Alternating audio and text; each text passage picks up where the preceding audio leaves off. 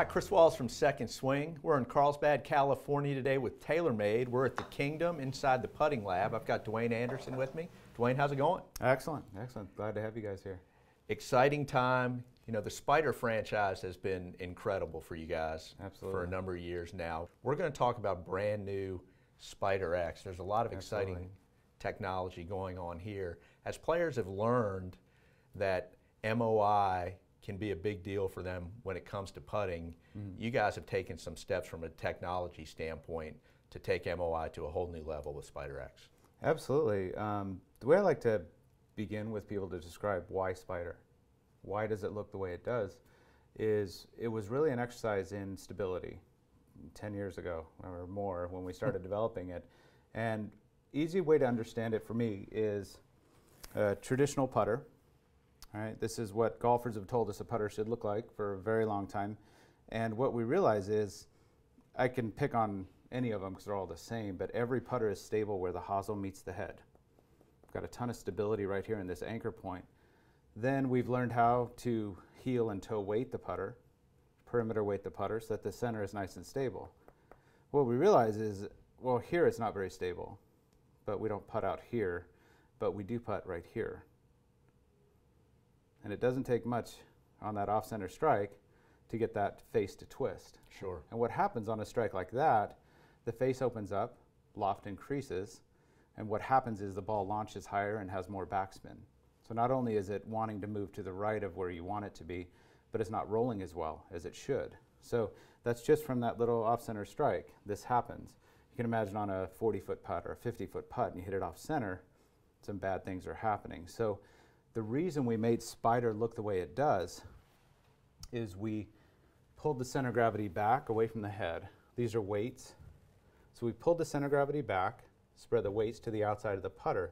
What that gave us is a putter with a longer, wider wheelbase, like a car, a more stable platform.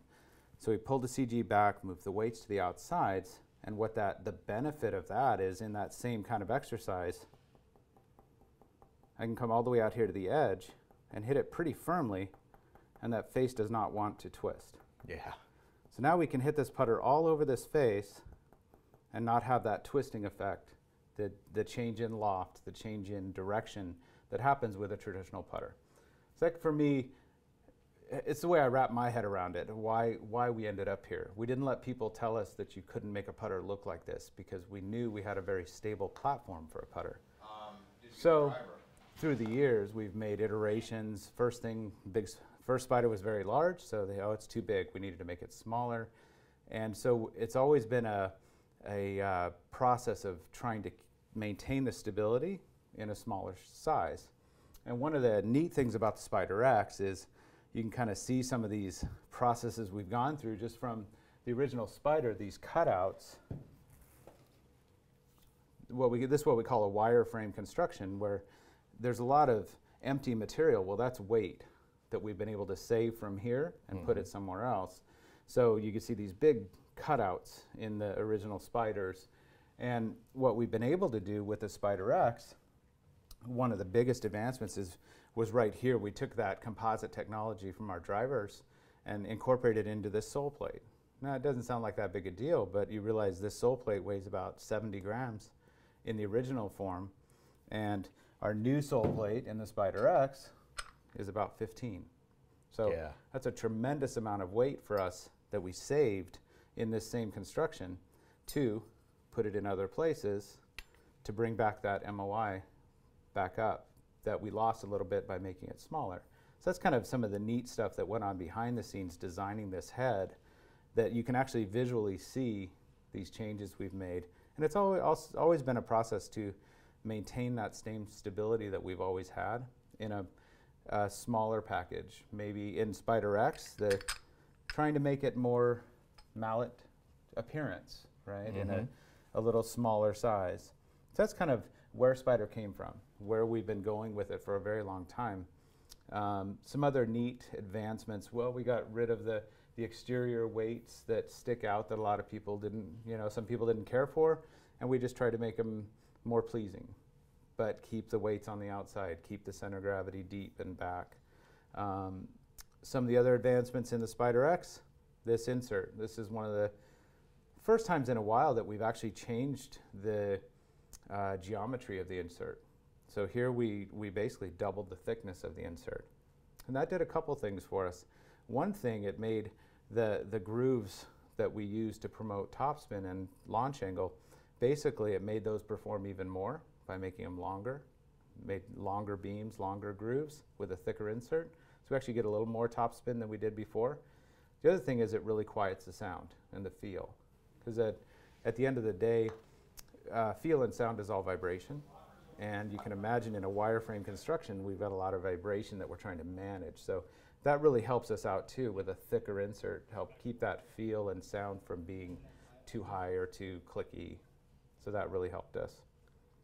Um, one of the other vi very visible differences that I really, I've been looking at Spider for a long time. So when, when I set it down for the first time, one of the first things that I really keyed in on was this alignment feature. And we worked with our, we have an eye specialist, Dr. Hitzeman at Indiana University, who does sports vision. So um, we, we worked with him on the original white concept to basically decide how do we do it? Why is it a good idea? The, the science behind it. And so he helped us develop this sightline implement of, okay, the sightline needs to be thicker, but not as wide as the ball. It needs to be half that size. The kind of arrow concept really brings your eyes down the line of the putt. When you set the putter down, you get this white visual of the line of the putt, the line that the ball is going to follow. And one of the neatest things that I noticed right away was bringing that white all the way over the top line right into a white face. And that really was a, a really pleasing, uh, just made sense. It just flows all the way to the face instead of in the past, we've looked at these uh, different, you know, red, white, black insert, these kind of different colors going on. To me, when I put this putter down, that was one of the first things I noticed was just this pleasing look of blending this line all the way down to the face, all the way down the line. So you mentioned the new insert. Mm-hmm. So for players that have been in, say, a Spider Tour, Spider Mini, Mm-hmm. will they notice a difference in feel with the new insert? Will it feel softer or firmer, or will it be pretty much what they've had? I would say if I had to guess, uh, it feels very subjective, so it's, it's hard to nail down. But if I would guess, I would say it, it might be a little quieter, a little softer feeling and sounding Gotcha. than those other than those past putters. And you also have had great success with Pure Roll Oh yeah. in terms of your technology, in terms of like getting the ball rolling quicker, helping players with speed control. Tell tell us a little bit about how that works. Sure. So our our Groove technology, our original AGSI, right? Groove system, and that's really the the key uh, word in that acronym is an anti-skid anti-skid groove system insert. So our our grooves are actually doing something. They're actually an active part of this process to they flex and they kick to, to give the ball launch angle and topspin more so than anything else. And spent years with testing on a robot of all different types of structures and materials and dimensions of this insert to, to dial it in to make it perform the way we want it to. Um, and so, and it's always uh been a process of, even though we've tried to change feel, is to again keep that performance benefit. That honestly, players tend to notice right away when they hit a putt on the putting green. They notice the ball rolling better right away, even though they don't have uh, some of the expensive toys that I do to be able to measure these things.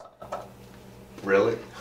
You can see it with your eye when all of a sudden your ball's not bouncing and hopping on that first couple feet. All of a sudden it's rolling smooth. Um, we see that quite often when someone hasn't played our insert and all of a sudden they try a putter with the pure roll insert. All of a sudden they see this smooth roll right away and they'll tell us about it right Yeah. away. And of course, Spider Tour, really known red and black color wise.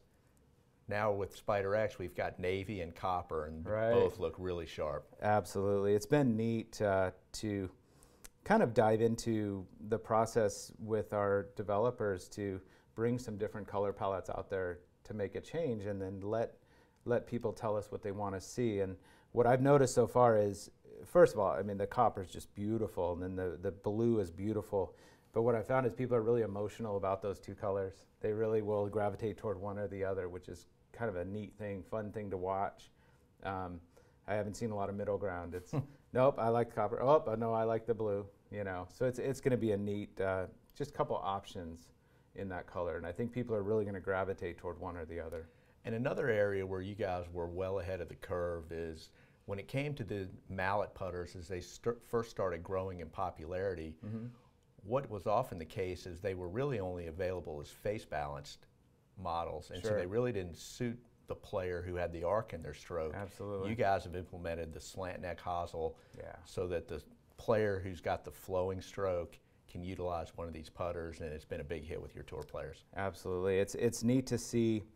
Uh, having the face balanced option is great because really, where we're looking at face balance versus toe down or toe hang putters is kind of a directional miss, right? One's easier to close than the other from a physics standpoint, this and that, or how your stroke works and how you open and close the putter. So it's nice to have the two options. And what's been neat and why we've kind of stuck with this short slant number three hosel is what we found is with the tour players especially, we found a, a combination of hosel and toe down that suits this uh, more blade-like uh, player who's used to the face rotating in a certain way. And most played on tour, I would say, would be the number three hosel because it rotates very similar to this. Mm-hmm. And guess what? Most of those guys were playing.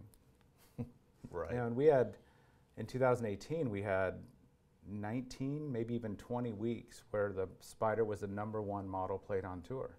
Spider, Yeah, which is pretty neat for us to, absolutely. to see our putters gain traction like that. And of on tour. course, some immediate validation for you, which I know you're excited about. Rory McIlroy, who everybody's always interested in what he's doing from a putter standpoint. He's switched back and forth from blades to mallets. Sure. He's put this in his bag straight away to start 2019. Absolutely. It's really exciting to see. We, we really feel like with this lineup, we've got a pretty good shot at getting most of our staff or and most of the guys that are playing Spider today.